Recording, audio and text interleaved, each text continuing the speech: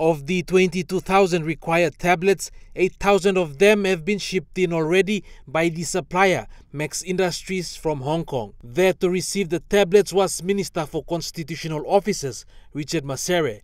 He says the arrival of the tablets has given them confidence that the census will be delivered.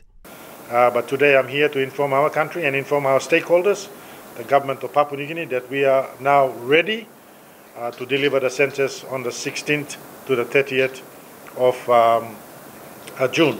The minister says the rest of the tablets are expected to be shipped in by the 27th of this month. National statistician John Igitoi says the tablet enhances the data collection. So the, um, uh, the, the tablets that we have now is to enhance the operations of the census. Uh, this will effectively cut down the statistical processing time. He further says the use of the tablet to gather information is in line with the national government's plan to shift into the digital space.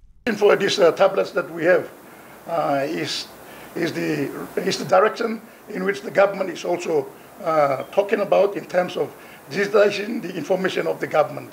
So NSO is taking lead in this uh, space. The supplier, Max Industries, gave an extra 1,000 tablets free of cost to be used as backup by NSO and was highly commended by Minister Masere. Edson Kuso, National MTV News.